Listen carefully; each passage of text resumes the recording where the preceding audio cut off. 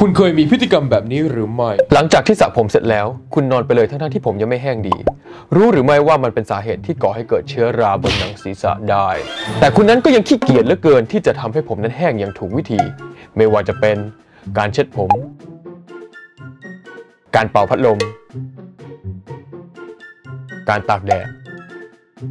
หรือแม้แต่การเฮดแบง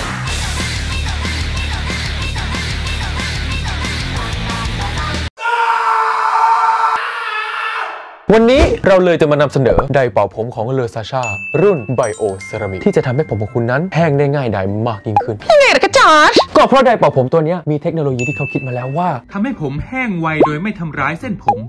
และผมไม่ชี้ฟู แถมตัวไดร์ก็ยังมีน้ำหนักที่เบาทำให้การเป่าผมไม่ใช่เรื่องยากอีกต่อไป พร้อมที่จะออกไปใช้ชีวิตได้อย่างเต็มที่ และไม่เสียเวลาว้าวมันสุดยอดไปเลยนะกระจอชใช่นะสิซาร่างั้นคุณลองเอาไดร์ตัวนี้ไปใช้ดูไหมล่ะ